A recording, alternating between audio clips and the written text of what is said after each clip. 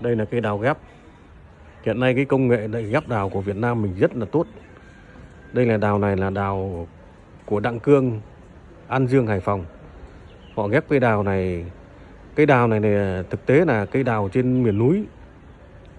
Sau khi người ta mua gốc về thì người ta sẽ dùng những cái cây đào nho nhỏ ở dưới đồng bằng này người ta ghép vào những cái cành này. Đây các bạn đang theo dõi như vậy toàn bộ cây đào này là cái cành này là cành ghép người ta uốn lượn các thứ người ta ghép. À, hiện nay hoa cũng đã ra rồi.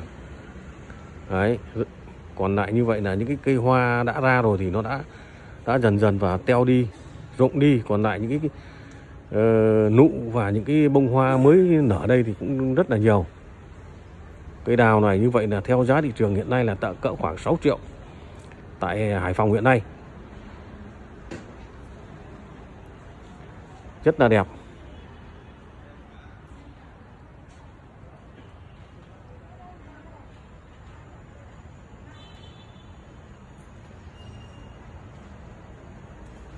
Đây là chủ nhà. Chủ nhà đã mua về và đã trang trí cây ờ, lên trên ờ, bậc thềm nhà. Rất là đẹp. Toàn bộ xung quanh cây đào này các bạn theo dõi đây. Đấy, rất là nhiều nụ và hoa. Cây đào này chơi từ ngày 20 từ ngày 20 mà đến Tết vẫn còn ờ, có hoa, có nụ. Nếu thời tiết này, rất đẹp.